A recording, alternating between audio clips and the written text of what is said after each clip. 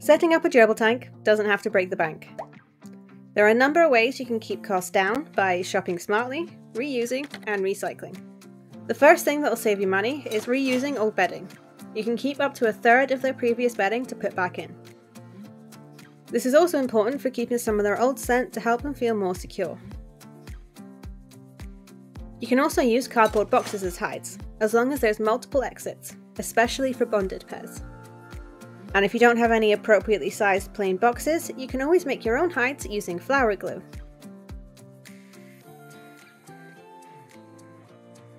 You can also reuse old hides from their enclosure if they're not too destroyed. And the wood bridge hides you can also get pretty cheaply new. And if you happen to get any of these paper pulp packaging pieces, they make excellent hides, and great chew toys too. And don't forget about cardboard tubes. I always like to set up a tunnel to give the gerbs an easy route underground.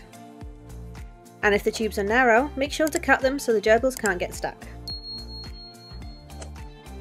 Then I add some of their food and a bunch of chew toys underground for them. Dandelion roots are pretty cheap and the gerbils love them.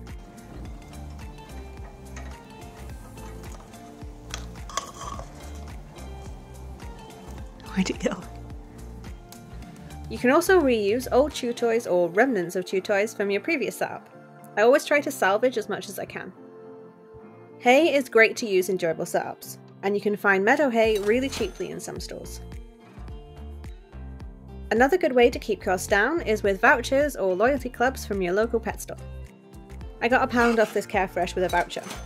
Every little helps. And on the topic of cheap bedding, Megazorb works out to be very cost efficient.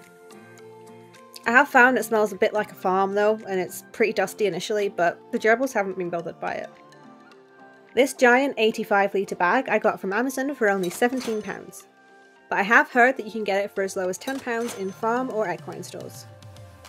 And it makes great tunnels. Also be sure to use up any leftover bags of bedding you may have lying around. I like to add an extra layer of old bedding in the middle for my bonded pairs just to make sure there's plenty of their scent all throughout the enclosure. Then I just add more layers of the other beddings before adding a final layer of old bedding on top and some more salvaged chew toys and a sprinkling of edible flowers.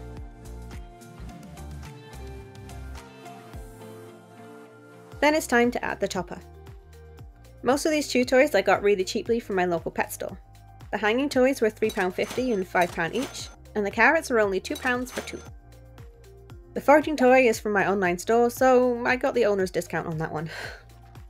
And the toilet roll was free from my bathroom. Even without the cost factor, toilet roll is a great addition to gerbil enclosures. They love it. They rip it up and use it to build their nest with, so it's great enrichment for them. Was that fun destroying all that toilet roll? Yeah. Then we need to add a sand bath and a water source. I also like to add slate pieces to their topper to help wear down their claws. These I got free from the garden centre. I also add some cork bark to the topper for extra textures and something else to chew. You can also make your own hanging toy using a kebab and some old pieces of toys. You can also pick up popsicle sticks pretty cheaply and drill holes in them to add to your kebab, or you can use cardboard. Although they won't last long, shreddable toys can be pretty cheap too. Then it's finally time to add the gerbils and see what they think.